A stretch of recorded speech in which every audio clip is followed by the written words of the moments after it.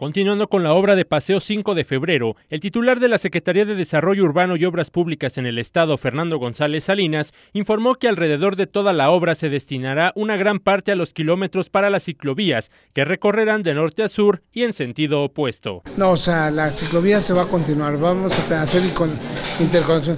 Tenemos 11.4 kilómetros de ciclovía a lo largo de todo y tenemos 1.1 kilómetros de ciclovía de interconexiones. Indicó que la decisión se tomó en conjunto con las organizaciones ciclistas para responder a las peticiones de los puntos más críticos para las y los ciclistas, pues incluso la semana pasada realizaron un recorrido por la obra al lado del Consejo de Movilidad.